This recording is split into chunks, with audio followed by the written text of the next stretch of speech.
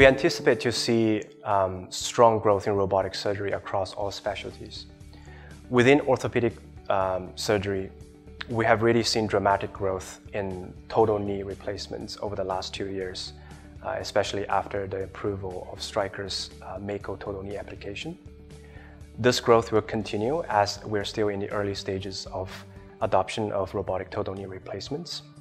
And as uh, strong midterm to long-term clinical data begins to roll in, we're going to see adoption of robotic total knee procedures, uh, both in U.S. and also in international markets as well.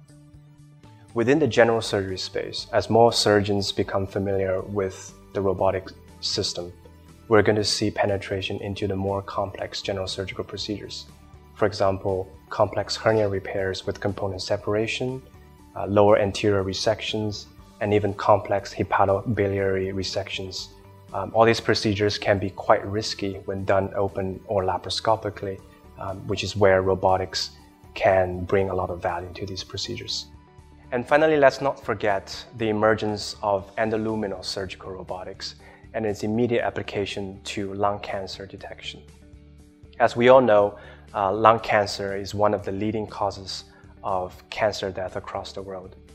Robotic technology introduces a less invasive uh, method to perform lung biopsies deep within the lung, which can sometimes be very dangerous to perform using conventional methods.